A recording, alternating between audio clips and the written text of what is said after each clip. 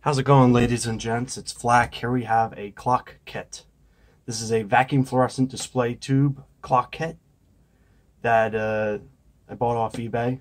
I actually built one of these about half a year ago, but then I dropped it, broke a couple of the tubes. Then I tried to desolder the tubes, and then I destroyed the couple traces. And well, bad went to worse. And then I uh, decided to say, screw it, I will buy another one and make it.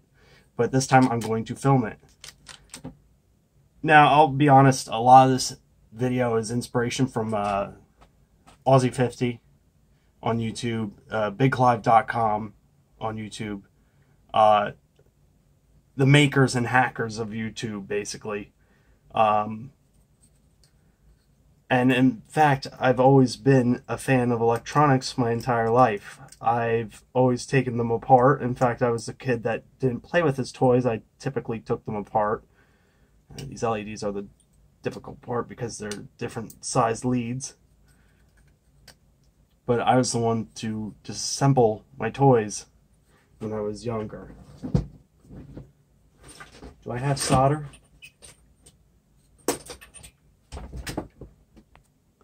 Ooh, for a second there I thought I didn't have solder. Let's begin. I'm putting all the LEDs in first. These are keyed. Let me show you this you can see that one of the pads is square and that's what the longest lead goes in. You can use this build, uh, this video as a uh, kind of a walkthrough to build your own. Although I'm not the best builder in the world. I'm no architect. But feel free to follow along with your own kit. And if you have any questions, let me know in the comments below.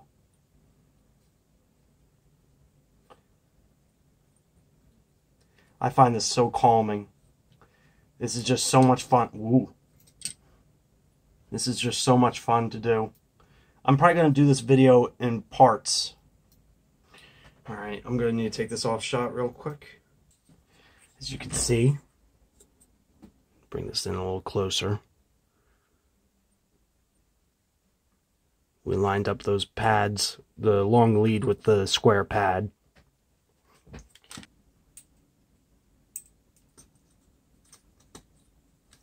Alright, let's begin soldering. I use lead solder. Uh, that is all that I use because I find that it works really well. I just bonded those pads together. These are really close pads. Where's my solder sucker?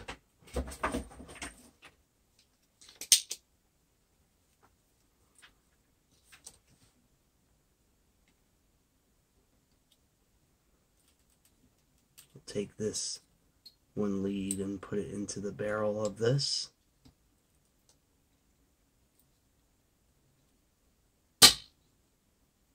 There we go.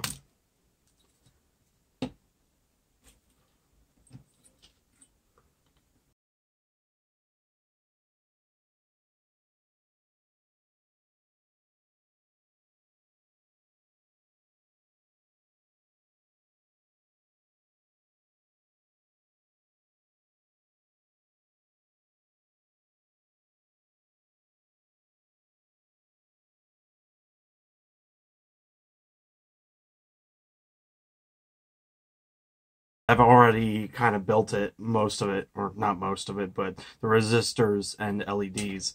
Uh, I did start filming this and then I noticed that it wasn't very good, so I'm continuing where I left off. So, power on the soldering iron, my TS100 soldering iron, which I love. I love this soldering iron. I highly recommend it.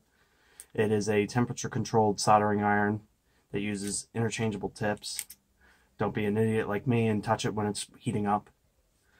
But there we go. Let us begin. You're going to have leftover components, like resistors and stuff, but that's not a big deal. So if you do have this project and you're building your own, just be wary that you are going to have leftover components. But I'll see what... Oh, this LED, this LED, and this LED need to be spaced off the board a little bit because there's resistors that go right next to it. So just warning you, if you build this, make sure to space the um, certain LEDs high up so that way that you can fit the resistors down. What I did is I did this. Hold on, let me. I uh, lifted that resistor up and soldered it in place.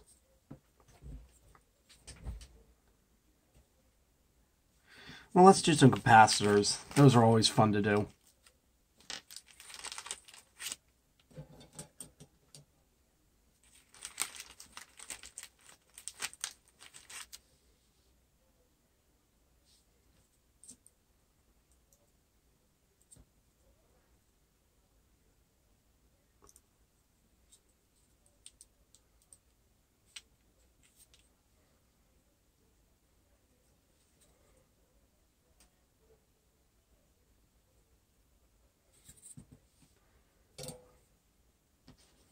For a second there, I thought I didn't have solder. I thought I brought it to work.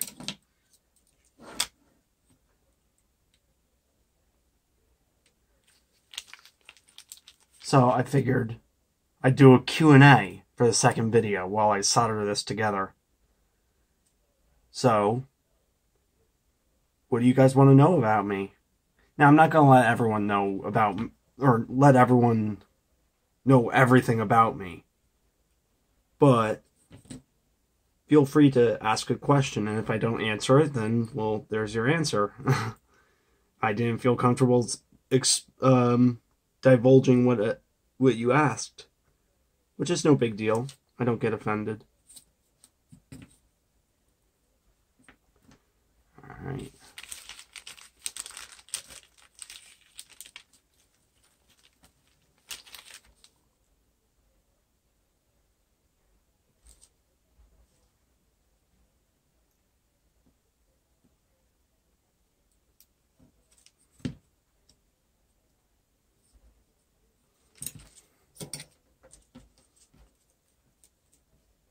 Might want to solder some resistor packs in. I think these are resistor packs.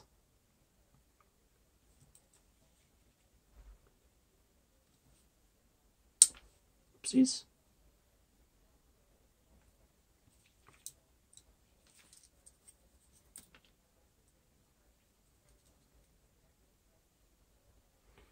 Alright, that's going to be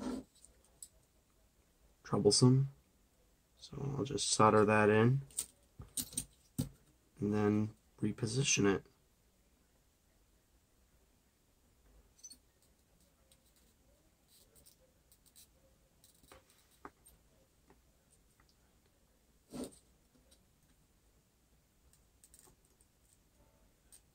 For the most part, you can use this video as a walkthrough for your own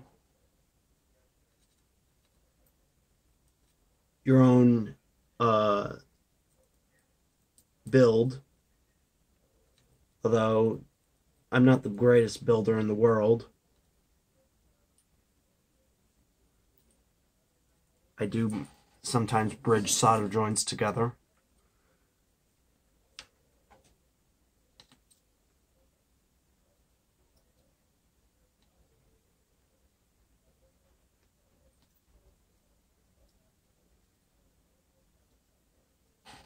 Ooh. Snips.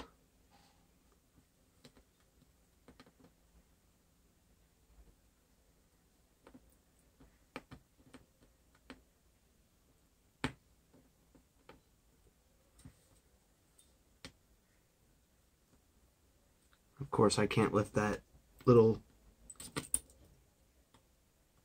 little shard of metal up.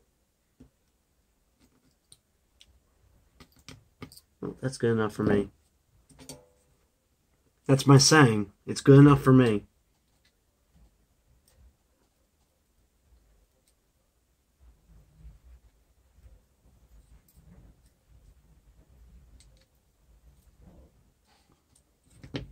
Alright, that resistor pack is soldered in. I'm pretty sure that's a resistor pack. Don't quote me.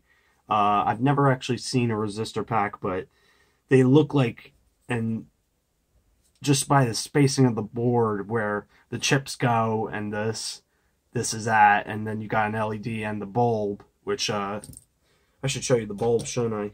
I actually have extras because I actually built one of these, broke it, and I tried to solder in some new tubes, but I then destroyed a couple traces and then said, you know what, screw it. I'm just going to buy another new kit. And then I thought, well, you know what? I might as well film it too.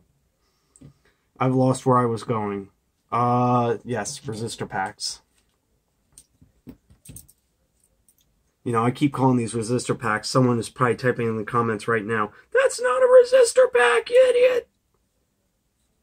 Oh, yeah. Uh, I did say this and I think I got distracted. You can use this as a walkthrough if you want.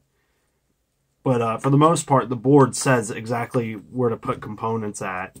I think there might be one or two things on the board that actually are not listed, um, but I might be wrong. And not to mention, this is a different iteration of the of the um of this. Uh, the remote is different from the original that I made.